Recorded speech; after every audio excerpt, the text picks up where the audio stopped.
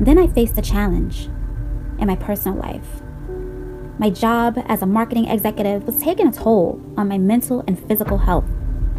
The long hours and constant stress were wearing me down. I knew that I needed a change, but I didn't know what to do. I had always felt a deep connection to nature.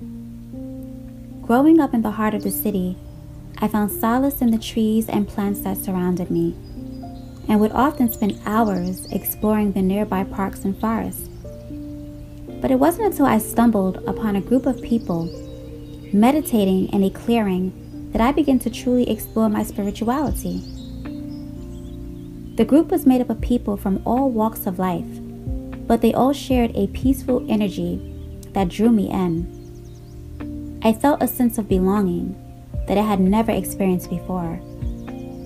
As we meditated together, I found myself opening up and sharing my own spiritual journey with the group. Over the following weeks, I attended the group's weekly gatherings, learning more about meditation and mindfulness. I began to understand the interconnectedness of all things and the power of surrender and trust.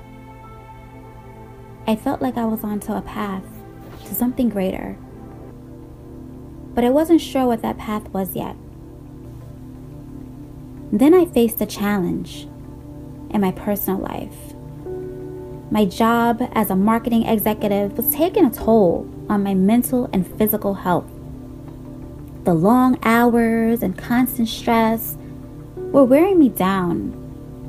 I knew that I needed a change, but I didn't know what to do. I confided in my spiritual community sharing my fears and doubts, they listened and shared their own struggles. They encouraged me to take small steps toward my dream of starting an organic farm. They reminded me of the power of surrender and trust, urging me to let go of my attachment to my job and trust the universe had a plan for me.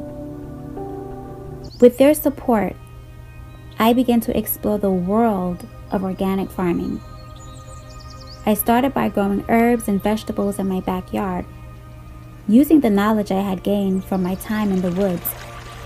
As my passion for organic farming grew, I started to research the steps I would need to take to turn my hobby into a business. I attended workshops and conferences learning about the industry and the challenges I would face. Despite the obstacles in my path, I remained committed to my dream. I continued to attend the group's weekly gatherings, drawing strength from their shared spiritual journey. They encouraged me to stay true to myself, to follow my heart, and to trust the journey. Months turned into years and my organic farm grew and flourished. I was able to leave my corporate job and live a life that was in alignment with my values and passions. I felt a deep sense of gratitude for the spiritual community that has supported me every step of the way. They had shown me the power of connection to a higher power, personal transformation, universal themes, symbolism, inspiration, and authenticity. Looking over at my farm, I felt a deep sense of peace.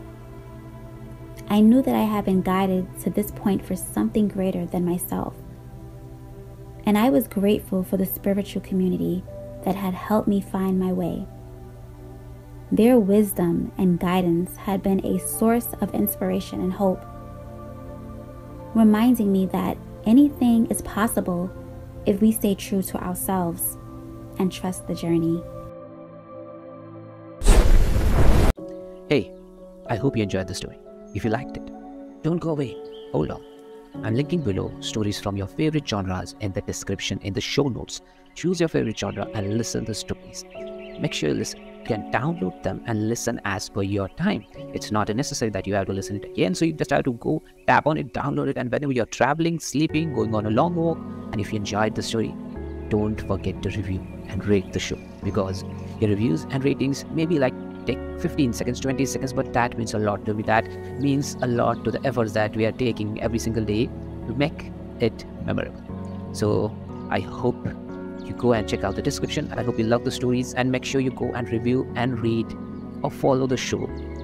That's you're being very kind to us and thank you. Uh, I hope you enjoyed it.